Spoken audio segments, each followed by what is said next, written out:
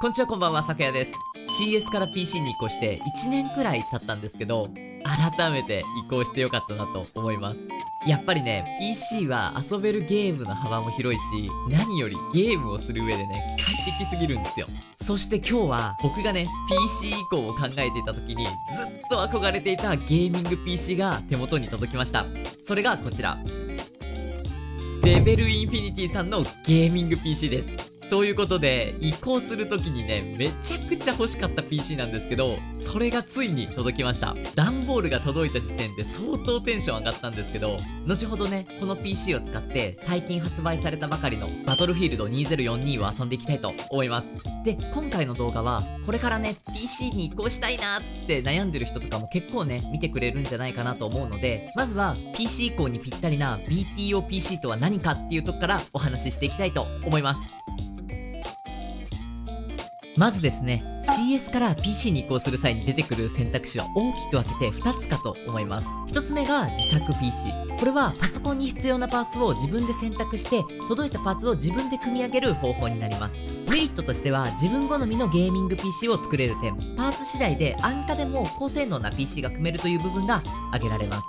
ただし、パーツ選びから組み上げまで全て自分一人で行うため、知識が必要という部分がかなり難点になります。そして二つ目の選択肢は BTOPC という選択肢。今回のレベルインフィニティさんの PC もこちらの BTOPC になります。BTO とは Build to Order の頭文字から来てる略称で受注生産を意味します。要はすでにあるカタログの中から欲しい PC を選んでプロの職人さんに PC を組み上げてもらうという方法になります。もちろんメモリや SSD の増設、電源のランクを上げるなど自分好みにカスタマイズすることも可能です。ただ自作 PC と違う点としては PC 自体のケースを選べなかったりパーツのメーカーなどが選べない点が挙げられます。ということで、両者どちらともね、メリットだったりデメリットが存在するんですけど、僕個人的には初めてのゲーミング PC を購入する場合、圧倒的に BTOPC がおすすめです。理由はね、何点かあるんですけど、やっぱり安全かつ届いてすぐにゲームで遊べるっていう点が大きいです。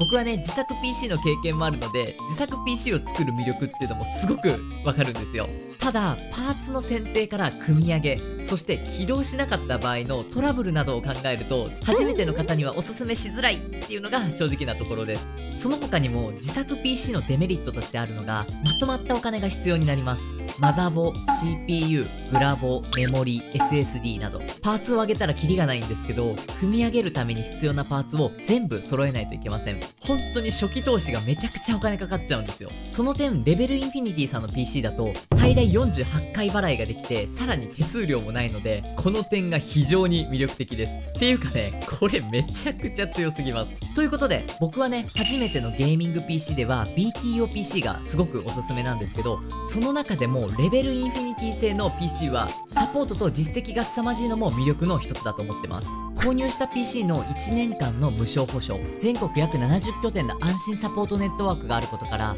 購入後も国内最大級のサポートが受けられる点、そして24時間365日の電話サポートもあるので、急にね、パソコンが動かなくなっちゃったみたいな時も安心です。さらにね、コラボ PC もめちゃくちゃ豪華なんですよ。公式サイトのね、トップページには、名だたる有名配信者さんの名前だったり、チーム名があったりするんですけど、僕はね、今ゼータキッズなんで、今ならゼータコラボのものが欲しいなと思ってます。またゲーム推奨スペック PC っていうものもあって、ゲームメーカーからのね、推奨認定を取得したモデルなんかもあります。人気の PC ゲームタイトルがね、快適に、そして安心してね、遊ぶことができるので、このあたりもね、わかりやすくていいんじゃないかなと思いました。そして、僕がね、なんでレベルインフィニティ製の PC が欲しかったのかっていうところなんですけど、最大の理由がこちらです。どうですか？いや、めちゃくちゃかっこいい。マジでかっこいい。そう。性能はもちろんなんですけど、見た目がね、本当にかっこいいんですよ。ザ・ゲーミング PC っていう感じで、ゲーミング感溢れるデザインになっていて、さらに正面にね、さりげなくレベルインフィニティのロゴが添えられてます。あとね、あと、当たり前なんですけど、配線がめちゃくちゃ綺麗です。いや、これはね、まあ、他のところもそうなんですけど、一回ね、自分で自作 PC 作ったからこそ思うんですけど、ほんとね、職人技です。自分でやった時もう地獄のような配線になって本当に絶望しましたから。プロに作ってもらうってこういうことなんだなって改めて思いました。ということで、初めてのね、ゲーミング PC 選びとしては、自作 PC より BTOPC がおすすめだよっていうお話でした。ここからはね、実際に今回ね、僕の手元に届いた PC のスペックを見て、最近発売されたばかりのバトルフィールド2042の方、遊んでいきたいと思います。それではまず、今回届いた PC のスペックがこちら。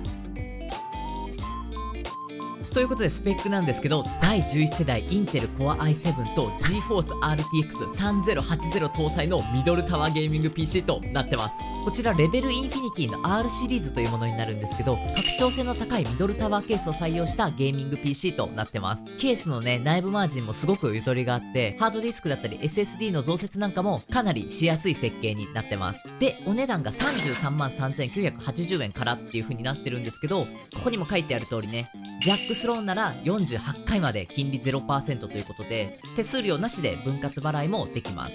パソコンを選ぶ上でね、やっぱりね、CPU と GPU、この2つが特に重要になってくるかと思うんですけど、今回のパソコンはね、どちらもめちゃくちゃハイスペックなので、この後のね、BF2042 でもかなり快適に遊べるんじゃないかなと思います。で、やっぱりね、これだけハイスペックだと、これからね、配信活動頑張りたいみたいな人とか、プロゲーマーを目指して頑張りたいみたいな人にはね、かなりおすすめできる性能になってるんじゃないかなと思います。で、これでもね、PC のスペックが物足りないっていう人だったら、はい、こんな感じで、例えばメモリはね、今、計 16GB なんですけど、倍の32にしたり、あとストレージを、まあ、1テラから2テラにしたりとか、こんな風に自分好みの最強のゲーミング PC を作ることができます。ということで、スペックの方もチェックできたので、早速、バトルフィールド2042の方、遊んでいきましょう。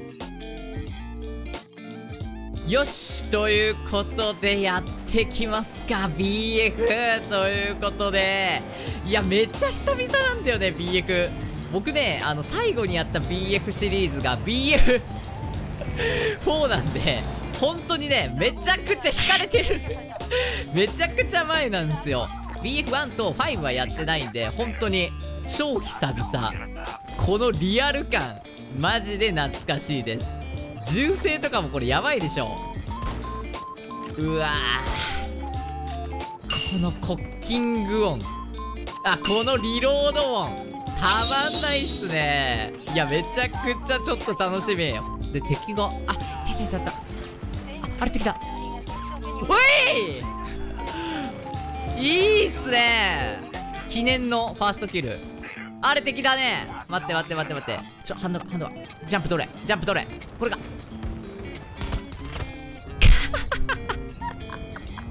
いやむずいなこのゲーム。あー痛い痛いあいつやりたいあいつやりたい。あい！オッケー。気持ちいいヘッドショットで倒すの。っていうか本当に蔵綺麗だな。だってここからあそこまでいけるんだよ。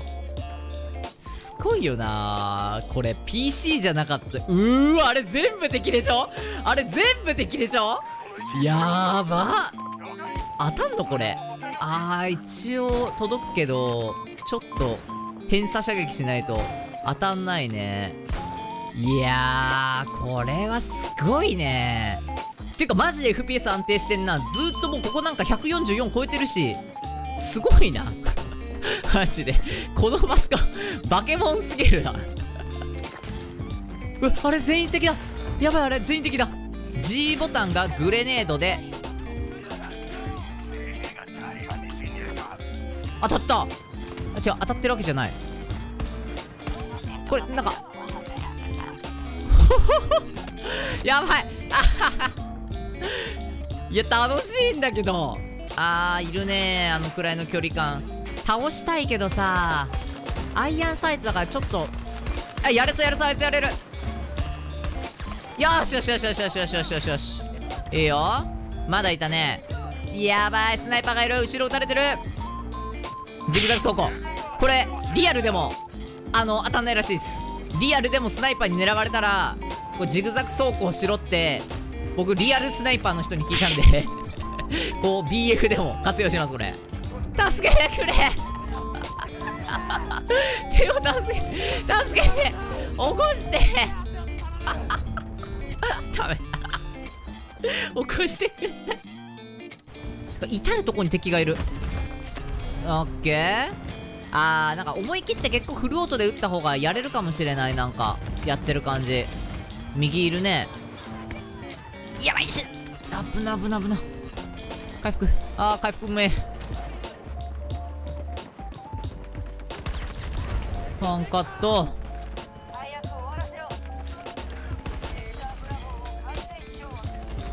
オッケー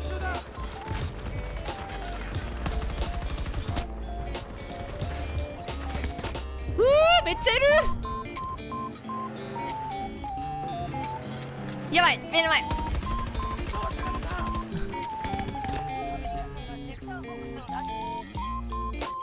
あ。いやということでちょっと1戦目ガチガチのめちゃくちゃ下手くそだったけどいや面白いわ。はいということでちょっとまあ初見プレイということで。結構やっぱ難しいね BF は。BF ちょっと難しいけどこのはちゃめちゃ感そしてグラフィックの綺麗さとこんな重いゲームここまで快適に遊べるのはちょっとマジですごいなと思いました。やっぱこういうゲームはね PC で遊んでなんぼみたいな感じしますね。マジで面白い。ちょっとこの後もね引き続き遊ぼうかなと。思います。でとりあえずね動画の方はまとめ入ろうかな。ということで、今回はね、レベルインフィニティさんの BTOPC の魅力を存分に紹介させていただいたんですけど、今回の動画はね、PC 移行する前の自分に見せるような気持ちで作ってみました。僕は CS でのゲーム歴がもう、かれこれ15年以上はあるので、CS で遊ぶことに相当思い入れがあって、当時はね、移行するかめちゃくちゃ悩んでたんですよ。お金もかかるし、自作 PC とか BTO とか色々難しそうだし、あとフレンドもね、やっぱ CS 機に多かったんで、そのあたりもね、あってかなり悩んでました。ただ、やっぱりね、PC でやるゲームっていうのがすごく憧れがあったんですよ。FPS やるならキーボードとマウスでやるのが絶対快適だし、CS にはないオンラインゲームがあったりとか、PC にしかない魅力っていうのがね、たくさんあったんですね。そして現在はね、完全に PC ゲーをメインに遊んでるんですけど、移行してよかったなと心から思います。ほんとね、楽しくて仕方ないです。ゲームの快適さが段違いですし、ゲーミングデバイスをね、集めたりするのもすごく楽しいです。あと今なら e スポーツやゲーム配信もすごく人気なので、今後、プロゲーマーになりたい人や配信活動に力を入れたい人は PC 一択かなと思います。自分も PC に来てからはね、以前よりも実況動画とかも断然作りやすくなりました。なので、当時のね、自分のように PC 以降を考えてる人の、まあ、背中を押してあげられるような動画になっていれば幸いです。そして、初めてのゲーミング PC を買うなら、やっぱりね、レベルインフィニティさんのパソコンが、性能面、見た目、アフターサポート、どれをね、とっても安心しておすすめすることができます。分割払いもね、手数料なしでできるので、そのあたり含めてもね、いいんじゃないかなと思います。それでは今回のパソコンの詳細情報や公式サイトのリンクをね、概要欄に載せておくので、ぜひチェックしてみてください。ここまでご視聴ありがとうございました。昨夜でした。ここまで見てくれてありがとうございます。チャンネル登録ボタンと高評価ボタンをポチッと押してくれるとすごく嬉しいです。他にもおすすめ動画や最新動画が載ってると思うので、ぜひチェックしていってください。それではまた次の動画でお会いしましょう。昨夜でした。